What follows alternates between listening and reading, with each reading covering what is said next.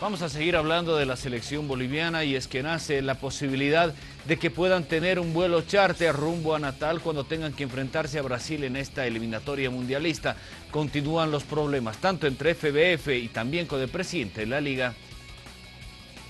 Primero se supone de que el presidente es el comandante del barco y no puede tener esa opinión de sus soldados. Eh, discúlpenlo, habrá días mejores. La federación y, el país un día tendrá la oportunidad de, tener el presidente que merece tener.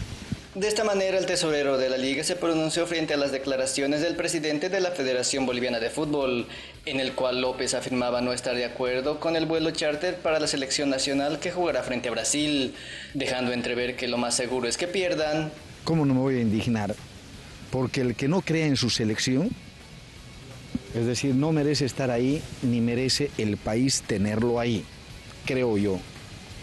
Los seleccionados se merecen tanto valor y el boliviano tiene que, que llamar, es reconocido por su garra, por su coraje.